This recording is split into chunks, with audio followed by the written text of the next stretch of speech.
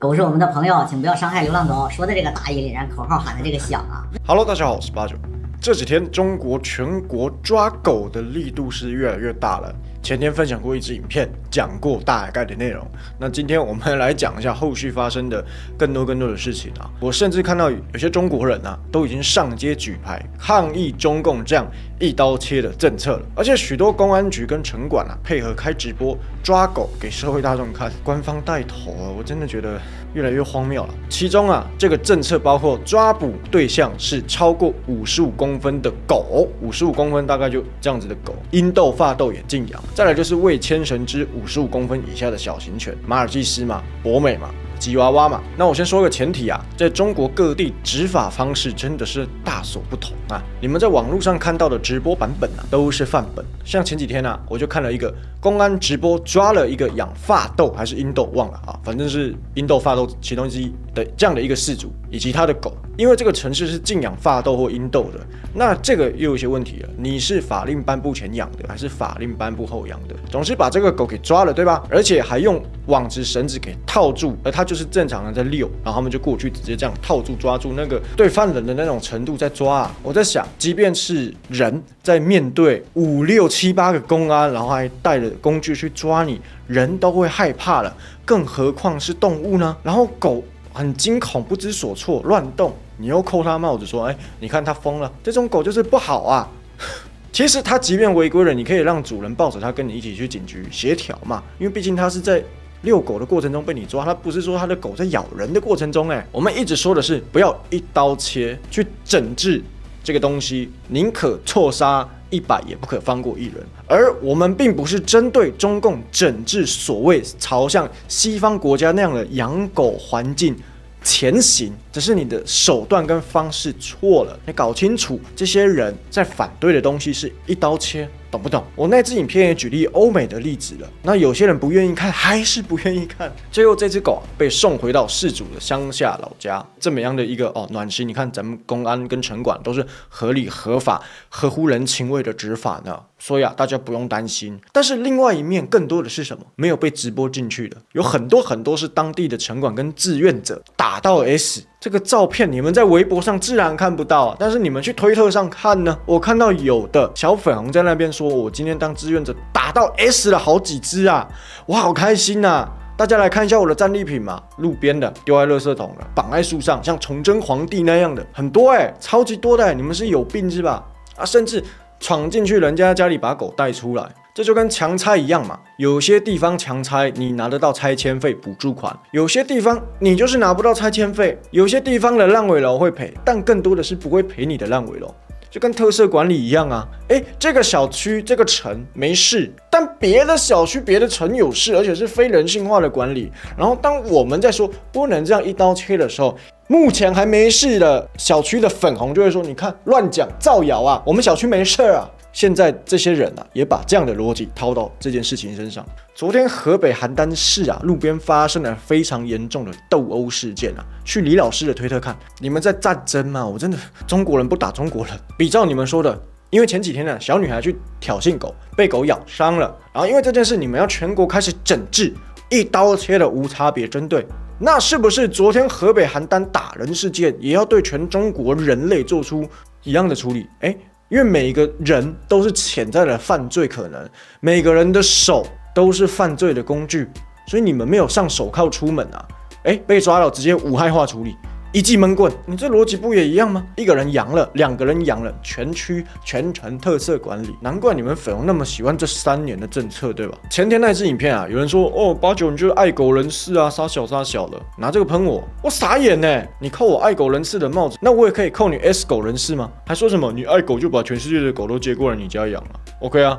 那你讲这句话，反之你是不是要把全世界的狗都给 A 死了去啊？到底在讲什么极端例子啊？更何况我是非常讨厌狗的哈，即便我现在站出来帮这些事主还有这些流浪狗发声，我还是讨厌狗的。但这是普世价值嘛，你不能一刀切去 A 死路边的流浪狗嘛。即便我老家从小陆陆续续到现在养了十几。啊，多到我数不清了。我爸超喜欢养狗的，大型犬也养了，小型犬也养，最小的什么博美也养过，最大的古代牧羊犬也养过。现在家中还有五只狗。照理来说，我从小到大跟那么多狗生活，我应该还蛮喜欢狗。为什么我讨厌狗？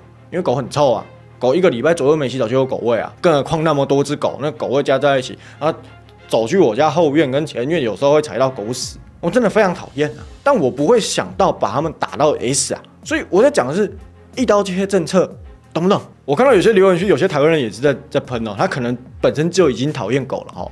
哦，所以他把那个情绪带过来。他说：“八九，你在情绪勒索，你才是用你的情绪勒索留言来情绪勒索我了。你要这么滥用情绪勒索这一词，那大家都来滥用啊！我这个节目帮过很多中共被迫害的中国人也好，台湾人也好发声，很多都是因为一刀切的政策导致的。请问，我把这些事情说出来，说中共不应该一刀切，是不是也属于你说的情绪勒索？那这样这个频道不要做了，那大家新闻都不要做了，都不用做了嘛？换了物种，你就换了个脑袋。而且现在有一些粉红网红啊，在喷这些所谓的爱狗人士，我们来。看一下他的逻辑是什么哈？狗是我们的朋友，请不要伤害流浪狗。说的这个大义凛然，口号喊的这个响啊。问题是啊，第一，我们啥时候大肆伤害流浪狗了？这不无中生有吗？有些地方整治流浪狗问题，那也是抓起来送到救助站去。有几个流浪狗没伤人就直接被打死了，这就很莫名其妙。哇哈哈哈！你看这个小粉，明显就是看。党媒信党的东西，从来没去推特上看过。你们很多很多很多，就是有发生这样的事情，所以才出来讲啊。就是看到太多城管、公安，还有所谓的志愿者在 S 啊，所以才出来讲啊。对，确实在中国也有好心人士跟善心人士，还有这样的协会在救治流浪狗。对，这是党媒让我们看到了。中国是一个很正常，感觉跟西方一样的民主国家。但真的实际情况，社会风气是如此吗？如果今天社会风气是如此的话，你们不会这样一刀切去做这个政策。欧美国家什么时候跟你一刀切了？从来我们并没有反对说狗在外面应该要有相对应的规范，避免伤害到人，或是突然冲出去造成车祸，这些我们从来不反对。不要在那边说什么哦，干你就是要支持这些行为，你继续鬼打墙啊！我们接着看下去。呀，保护流浪狗的口号谁都会喊。那具体的保护方案也说出来了，爱狗人士能拿出可行性的方案吗？目前为止啊，我是没见到任何一个。重点是你们允许爱狗人士民间团体啊，里面没有党支部的，让他成立，让他去控管吗？没有党支部的可以吗？不可以嘛？讲什么嘞？领养他们不愿意，抓起来送到救助站他们也不愿意，安乐死啊他们还不愿意，出钱资助他们更不愿意。难道光用嘴爱狗吗？上次那支影片都举例过了，你真的要所谓的安乐死？哦，在中国是有的，没错，但这个基数更多人选择的是直接一记闷棍，省钱省事。那为什么特色管理这三年你都一记闷棍？为什么一记闷棍？第三，所谓的爱狗明星们，别光发声，也发发力。你们是有能力的，既然这么喜欢狗，每年还挣那么多，拿出点来资助一下流浪狗不行吗？流浪狗救助站那么多，都需要你们的帮助，别光喊口号圈粉，要实际行动啊！中国是怎么样的一个氛围，我不知道，但台湾呐。不光是有一些艺人、明星、网红啊，甚至我看到很多很多平民老百姓啊，没有声量的，也是在做这件事情啊。像我每三个月、每半年，我就会去 save 那个 iPhone 机器按一下，看我要捐唐氏症基金会也好，还是看我要捐什么中华儿童什么基金会也好，不然就什么流浪狗、猫小孩组织那些基金会也好，也是有在出一份心力啊。即便我不喜欢狗。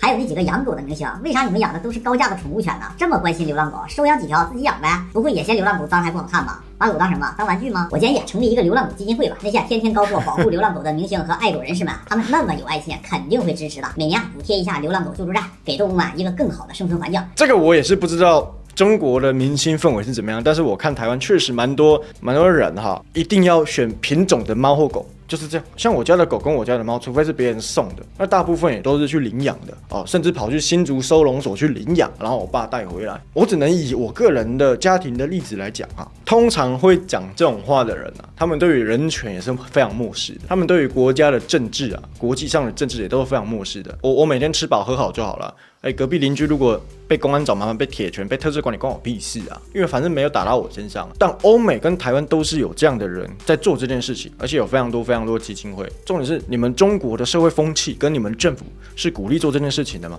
是默许没有党支部的组织做这件事情的吗？是允许不用收回扣、没有贪污的组织在做这件事情的吗？我觉得你讲这个就是完全屁话。你怎么已经把中国当成一个跟欧美国家或是北欧这样已开发国家的这个例子的前提去做这种发言呢？今天这些在抗议的人并没有要求你们哦，你们一定要爱狗爱猫，并没有，他们只是希望你不要一刀切的去做这个事情，再加上。